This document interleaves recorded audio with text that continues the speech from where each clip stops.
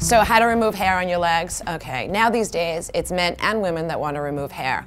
But I don't go by that type, I go by what type of hair you have. If it's fine hair, there's a very simple way to remove it. You could just utilize a razor. Always do it in the shower, make sure that your skin is soft, exfoliated, so you get the closest shave. Now the other thing is if you have coarse hair. These are the two different ways. It's a wax. The great thing about a wax is your skin feels really soft afterwards, but you also have to wait for it to grow back. That's a positive and a negative.